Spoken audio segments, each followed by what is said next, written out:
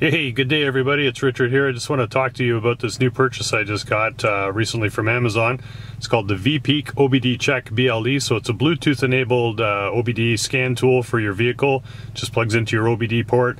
Uh, comes in this attractive little case here with the instruction manuals. It's pretty simple to set up. And I'm going to just walk you through and show you some of the features that it can do. I think uh, you guys would really enjoy having one of these. Totally inexpensive and I think it's just really cool to have. So I've already gone ahead and plugged it into my OBD port. You can see the little blue light is activated. Hopefully you can see that with this uh, light coming in through the window. But once the blue light is on, then you know the unit is powered up and active.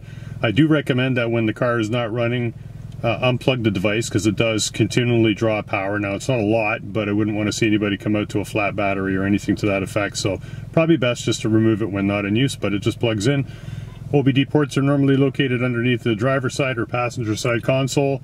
Again, mine was underneath the flap here. I've removed the door just to show you where it goes. Uh, again, just plug it in, uh, watch the blue light come on, and you're ready to rock and roll. The second thing you're going to need is some sort of app to interface it to the scan check tool. So I've uh, downloaded a program called OBD Fusion. Uh, it was about six dollars and fifty cents for Amazon. Uh, sorry, for Google. I mean, sorry for Android. I'll get this right. Um, it is also available for Apple iOS. I think it's a little bit more expensive, but it does work on both platforms. So once you have the app installed on your phone, you're going to just see a little connect button. You'll see up at the top that I'm not connected at the moment. So I simply enable Bluetooth and just hit the connect button. Did I hit that correct? Maybe not. Here we go. It'll show it's connecting. And it's reading the vehicle information, and there you go, you're up and connected. Now you got a lot of things you can do here, so it's really cool. So you can change your settings, you got a diagnostic, so if you do have a code on your car, you'd be able to read it and even clear it.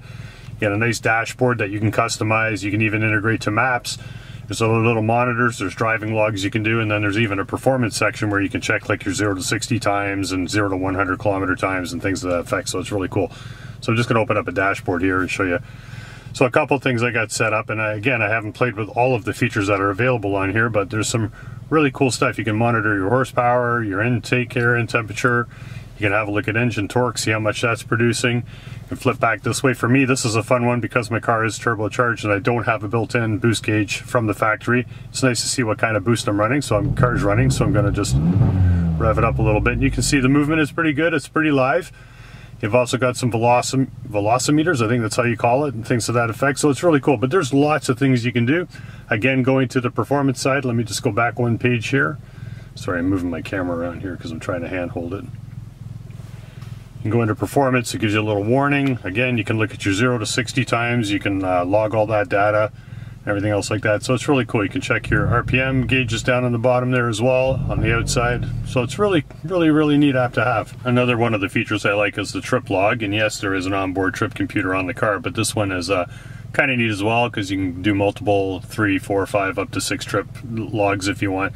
Shows you the distance you've traveled, your average fuel economy, and things of that effect. So that's pretty neat. Also included in the map are a bunch of monitors so you can see if you've got any problems with the car and uh, any emission problems or anything to that effect. So if you are part of a program where you have to have emissions tests on your car, this will tell you if it's ready to pass the test or not. Again, it'll read trouble codes. If you have any, uh, they'll show up here and you'll be able to know what they are and uh, even reset them if you feel comfortable to do so.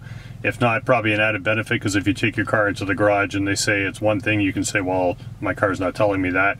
And just kind of have a better sense of uh, holding the garage honest, if you will, and uh, know what exactly is going on before you even so take here's it Here's a snapshot of the Amazon screen. So again, it's the Veepeak OBD Check BLE OBD2 Bluetooth scanner.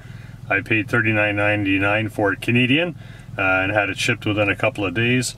Uh, it's a really good unit, gets uh, good reviews. Everybody seems to enjoy it. I've had no issues with it. Uh, so far, it's only been a week that I've had it, but I am enjoying it immensely. I love having that extra data. I love having that boost gauge that I showed you prior and just having access to other information that you wouldn't normally know what's going on in your car. Bit of a geek that way, so I like that kind of stuff and I like to know what's going on. Uh, so yeah, definitely a recommended purchase if anybody's interested.